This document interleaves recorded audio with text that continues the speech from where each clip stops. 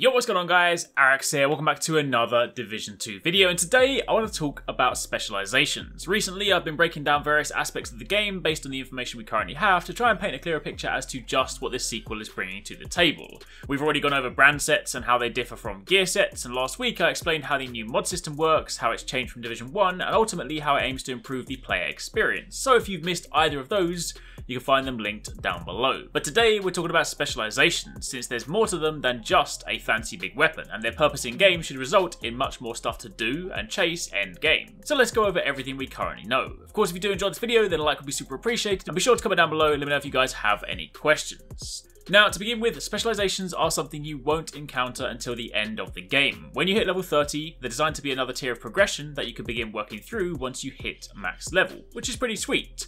In the Division 1, you hit max level, and then you really begin grinding gear, weapons, mods, that sort of thing, and you obviously build your character accordingly, but in the Division 2, your progression doesn't end when you hit level 30. Within each specialization, you'll have things to work towards, and these will ultimately influence the way that you play and allow you to spec your characters even more than before. Currently, we know of three specializations. These are the ones they showed off at E3, but there is supposed to be a fourth, and more on that in a bit.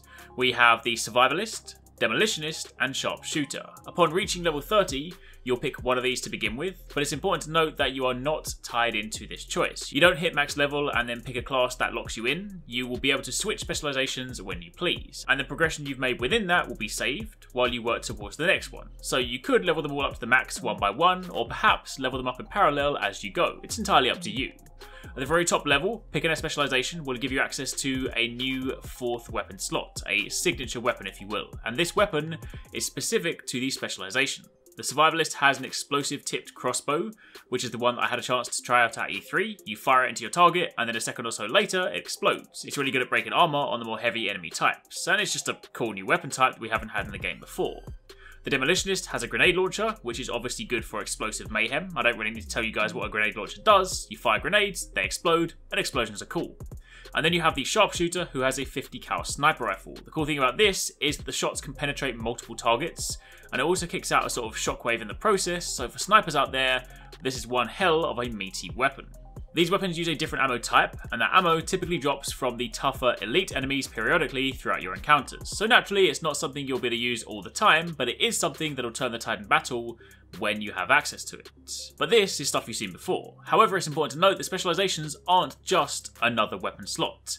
That's how they start out, but not how they end. When you pick your specialization at level 30, the weapon is the first thing you'll be exposed to, but as you level up further, you'll unlock more stuff. To be clear, we haven't seen how the leveling process works for these just yet, so that much is still a bit of a mystery. But what we do know is that specializations will also grant you unique skill mods, talents, and stat bonuses. So an example of that could be, say, the Seeker Mine. Sure, by default you have the core mods and uses for it, but if you're a Demolitionist, you might, say, have a Cluster mod. Meanwhile, maybe the Sharpshooter has a Gas mod, and the Survivalist could have a Flame mod. That's just a made-up example, but the point is that within a specialization, you will also have the options to further tweak your skills.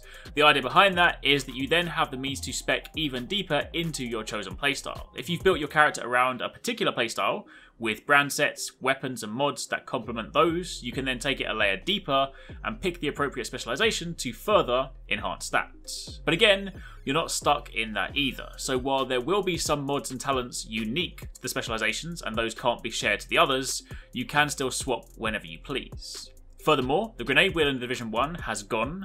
Now you pick one single grenade type and that is your throwable item. However, the specializations also offer their own unique grenades too. So while something like a frag grenade is pretty basic and can be used by any of them, you might have the flashbang being unique to the sharpshooter or the incendiary grenade being unique to the demolitionist. So in summary, specializations are a new tier of endgame progression that essentially allows you to progress beyond level 30 like never before. I also mentioned at the start of the video that there's supposed to be a fourth one. Julian Gerighty said during E3 that they're only talking about the first three at that time, so quite whether the fourth one will be there at launch, or perhaps it's something they plan to work in further down the line as part of the free DLC, we don't know just yet. Looking at what we currently have, we have a couple of explosive experts and a long range option, but it would be cool if one of the weapons was perhaps a flamethrower, or maybe even something more support focused. But at this stage, it's a bit early to begin speculating, so we'll leave it there. But just know that with each of these, you'll have more stuff to do end game, and if they add more of these as the game goes on, then that's again an opportunity to shake things up. But for the time being, that's it. That's a quick rundown of everything we currently have on specializations. If you have any questions, let me know down below, and also if you have any thoughts on what you'd like the fourth specialization to be, also let me know. But until the next one, thank you very much for watching, take it easy, catch you next time, peace out.